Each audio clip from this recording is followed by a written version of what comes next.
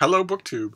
Well, I'm still feeling really, really, really bad. so, so I'm kind of glad that the morning's mail is just two packages because uh, I don't, I don't really have the energy to do. Uh, this thing, this this thing has just attacked my energy levels. Every everything feels like a strain. Uh, so we just have two packages here. We'll go through them. I'm going to hope uh, that the, the, there's been a pattern. If you noticed, there's been a pattern. I've been sick now for three days, and all three days the mail halls have been trying their hardest to perk me up. There's been one Steve book after another. Uh, I'm I'm kind of hoping if that's true. I know the odds are decreased if you just got two packages, but we'll we'll give it a try and hope for the best.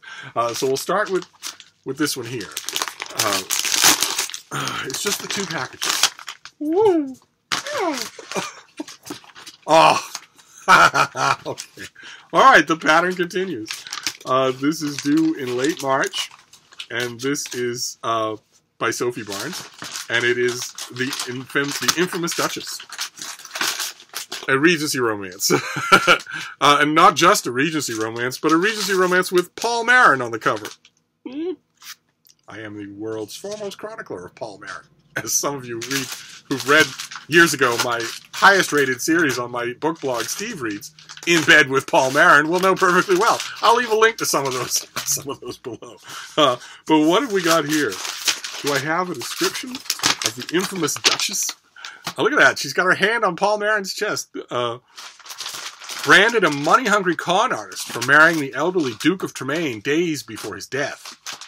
Viola Cartwright has found refuge in her work at St. Agatha's Hospital. No one must know the painful reason behind her marriage. She steers clear of attachments until Henry Lowell, heir to Viscount Armswell, lands on her operating table after a duel. Charming and wickedly handsome, Lowell is one of London's most inveterate scoundrels, yet he may not be all that he appears. I'm sure he appears to be Paul Marron. oh, fantastic. All right. This puts a smile on my sick, sick face. All right. So we have a Regency romance. That's a great way to start. Uh, we'll move on to this next one, and then we'll just wrap it up. It'll be a very, very short mail haul. Uh, what is that, baby? Uh, okay. All right. We saw this already. This is David Shields. This is the finished copy of Instructions for a Funeral collection of short stories by David Shields, where you have the manila envelope with the clasp, only it's shaped like a coffin. Uh, and it, it's it's all blurbs. Yeah, it's uh, the the pub sheet is all blurbs. Uh, what can we do for blurbs? There's a Kirkus one. I swear I didn't write it. It's a uh, fifth collection cements his reputation as one of the finest and most idiosyncratic practitioners of short fiction in contemporary literature. It's not exactly a crowded field. In this magnificent book, oh, come now. Oh, come now, Seymour. this, I almost unconditionally guarantee you, is not a magnificent book. you ought to get out more. Uh, we find the stories of every one of us, absent and present, dislocated and connected, at the mercy of our history, comma, our narratives. Well, yes, right? As opposed to what? yes, of course, all those things are going to be true. Uh, those are those are sort of what we call bromides. what, can we do anything better than that?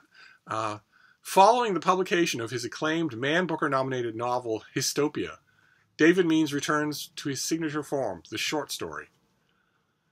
Uh, this book finds Means branching out beyond the explorations of trauma with which he is often identified, displaying his sly humor and inimitable way of telling tales that deliciously wind up to punch the reader in the heart. Inimitable means no one's ever done it that way before, and no one could possibly do it after. And I've read David Shields. that is not true. Uh, where are we don't hear the reader's just been punched in the heart. Here Means pushes into new territory, writing with tenderness about fatherhood, marriage, a homeless brother, the nature of addiction, and the death of a friend at the hands of a serial killer nurse. Okay. All right. Okay. Writing with tenderness about fatherhood, yes. About marriage, maybe, maybe not. Uh, but probably not because marriage will involve women. And David Shields does not write tenderly about women. Hence the serial killing nurse at the end of this very sentence. and, uh, and his writing about addiction is always a scorned lover rather than just scorn. Uh, his writing about addiction is very what uh, the addiction community would call enabling. Um, Means transmutes a fistfight in Sacramento into a tender, there's that word again, a tender, lifelong love story. Two FBI agents on a stakeout in the 1920s into a tale of paternal urges and loss, A man's funeral instructions into a chronicle of organized crime, real estate ventures, and paranoia. Huh, okay. This is instructions for a funeral finds Means writing at the height of his power. Okay, so this comes out in March. This is a March release. Yeah, this is early March. This is right around the corner. And I have the slim advance copy of this thing. Uh, and I've just been putting it off. So won't do that anymore. so that is it. That is our, our deathbed mail haul here. This is Instructions for a Funeral, collect, short stories by David Means. Uh, and the infamous Duchess by Sophie Barnes, with uh, with no less than our very own Paul Marron on the cover. I'll have to remember to leave a link to some of my epic posts about him. uh, but that's going to have to do it for now. I'm, I'm going to piece these these videos out so I don't exhaust myself. Uh, but I will see you soon. Thank you, BookTube.